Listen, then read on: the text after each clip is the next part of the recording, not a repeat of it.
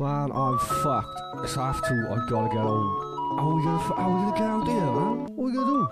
Let's call a taxi. You know, I've had some of the best times of my life in a taxi cab. I, I had some good times in Star. I've had some good times in town taxis. But most of all, I've had the best times in Dragon cars.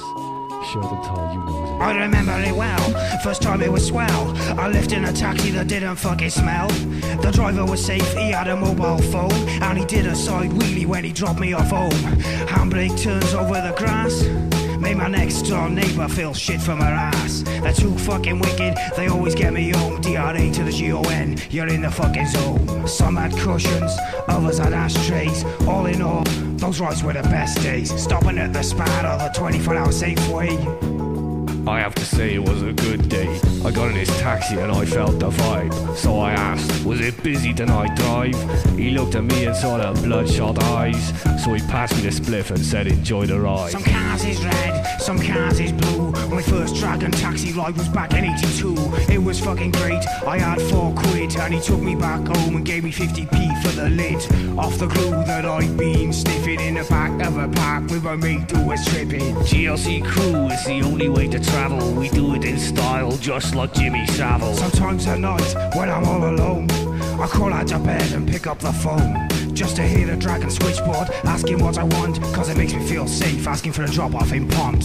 One phone call was only the start of it. One phone call and now you're a part of it. Now you done it. Dragon's 60 for you. And you and you. Two for the base, two for the base. Can you read me over?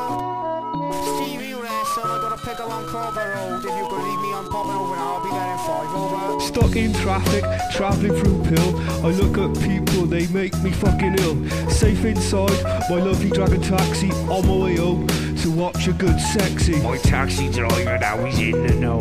He said he'd pick me up if I gave him some blow. First of all, he said he knew my brother, but then I found out he was undercover. The police they took me down I'm in a GLC. Joe the taxi, Sasabi, that's the way we do it in the GLC. Some drivers have a laugh, some drivers don't talk much. Some of them are Asian and some of them are Dutch. To get me safely home don't cost that much. And the heated leather seats are the luxury touch. There was five of us, but I couldn't see the fuss, cause Dragon's got a seven-seater scum bus. With banging tunes and leather seats, I class a driver CD with a GLC Beats.